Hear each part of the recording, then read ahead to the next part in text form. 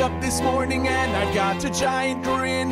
Summertime is over, it's that time of year again. I know sometimes I'm grumpy and I know sometimes I pout, but now I'm getting back to what I really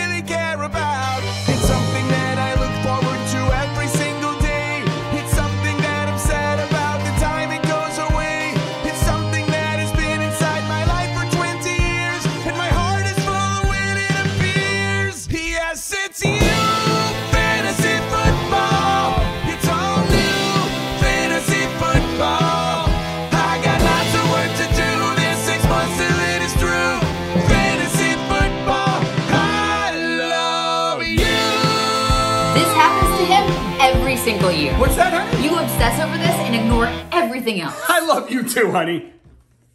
Yeah, first there was this draft, and I walked over to a friend's. I came home just a little tipsy, it was 2 a.m. And I woke you up because I wanted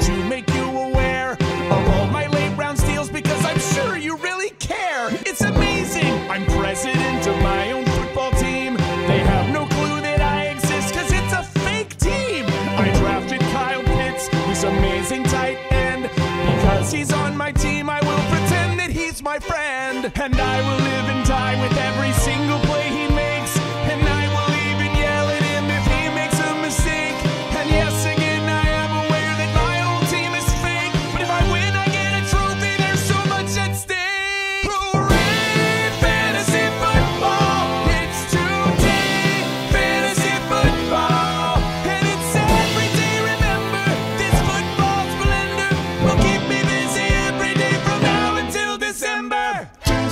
Release, look at that. I'll see where I'm ranked and I'll look at my stats. Wednesday. Waiver wire engagement, super important. I need a free agent. Thursday. There is one crappy game, but I have to watch because my kicker is playing. Friday. Injury reports are out. If my guy is hurt, then my win is in doubt. Saturday. I need to tinker my lineup. If I get it right in the standings, I'll climb up and Sunday. I will start watching it one and then wait past 11. The last game is done. Monday. It's the last game of the week and I'm really behind and my lineup is bleak, but I could win if Giovani Bernard had seven touchdowns and has 600 yards.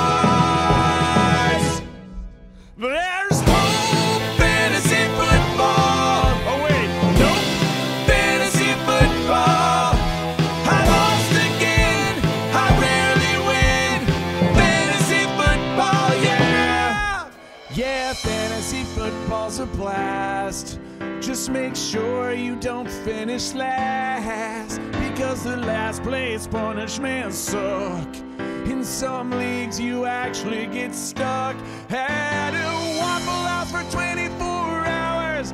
But you eat a waffle and it subtracts an hour. So if you eat 10 waffles, you can leave in 14 hours. But if you eat 10 waffles, you are gonna need a shower or an ambulance. Or at least a clean toilet, yeah. Nice. well done. Let's go,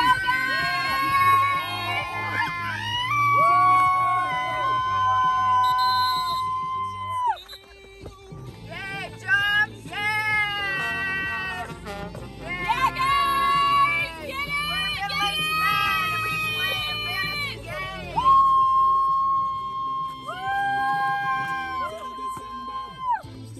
it! Check out our merch, check out our book, check out our blog. It's at theholdernessfamily.com.